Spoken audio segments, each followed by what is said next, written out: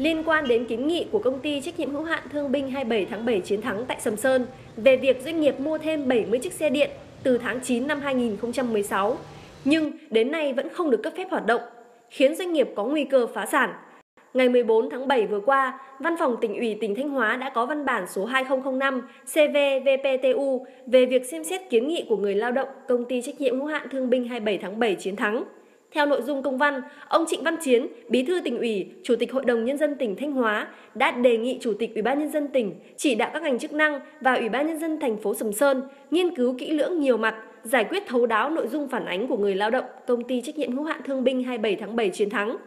Trước đó ngày 21 tháng 6, tại buổi tiếp doanh nghiệp thường kỳ của Ủy ban nhân dân tỉnh Thanh Hóa, ông Nguyễn Đình Xứng, Chủ tịch Ủy ban nhân dân tỉnh đã có kiến nghị chỉ đạo Hiện nay, Bộ Giao thông Vận tải đã có công văn đề nghị Ủy ban nhân dân tỉnh chỉ đạo Sở Giao thông Vận tải tạm thời giữ ổn định số lượng xe điện 4 bánh đang hoạt động trên địa bàn để tăng cường quản lý và giải quyết triệt đề những hạn chế, khó khăn, vướng mắc, tạm thời không bổ sung doanh nghiệp và không cho tăng số lượng phương tiện, nên trước mắt chưa thể giải quyết các kiến nghị của công ty trách nhiệm hữu hạn Thương binh 27 tháng 7. Trao đổi với phóng viên, ông Nguyễn Ngọc Tự, Chủ tịch Hiệp hội Doanh nghiệp Thương binh và Người khuyết tật Thanh Hóa bày tỏ quan điểm. Ta mua 70 chiếc xe với thời gian cũng là từ năm 2016 đến nay hơn một năm mà mỗi chiếc xe là hơn 200 triệu 70 chiếc xe 14 tỷ. Mà mình biết trả lãi ngân hàng đã chết mà anh em thương binh người ta chỉ yêu cầu nhà nước cho người ta được việc làm. Người ta bỏ tiền ra dành dụm người ta bỏ tiền ra để người ta ta, ta mua xe. Mua xe thì phải được chạy. Với cương vị là chủ tịch thì tôi sẽ kiến nghị với chính quyền địa phương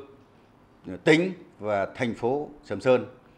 cố gắng giúp đỡ làm thế nào để cho 70 chiếc xe điện của anh em thương binh nó được hoạt động, tức là lo công an việc làm cho họ để đảm bảo cuộc sống cho cho bản thân anh em thương binh.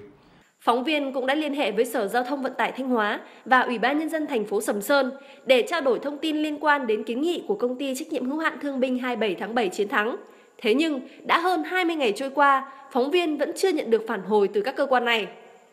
Trong khi Ủy ban Nhân dân tỉnh Thanh Hóa và các sở ban ngành có liên quan vẫn đang nghiên cứu xem xét, thì công ty trách nhiệm hữu hạn thương binh 27 tháng 7 chiến thắng đang phải trả lãi hàng chục triệu đồng mỗi tháng do 70 chiếc xe điện vẫn nằm phủ bụi tại các nhà dân. Với sự chỉ đạo của ông Trịnh Văn Chiến, Bí thư tỉnh ủy tỉnh Thanh Hóa, những người lao động trong công ty trách nhiệm hữu hạn thương binh 27 tháng 7 chiến thắng đang rất phấn khởi và hy vọng 70 chiếc xe điện sẽ không bị tắt điện.